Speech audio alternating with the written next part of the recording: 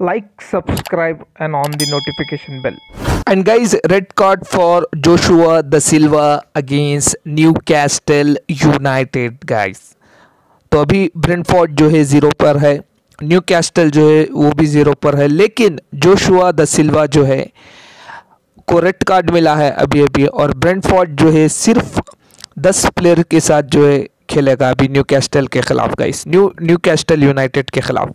तो once again मैं आपको बता दूँ जोशुआ द सिल्वा को रेड कार्ड मिला है तो पवेलियन जो है वो लौट गए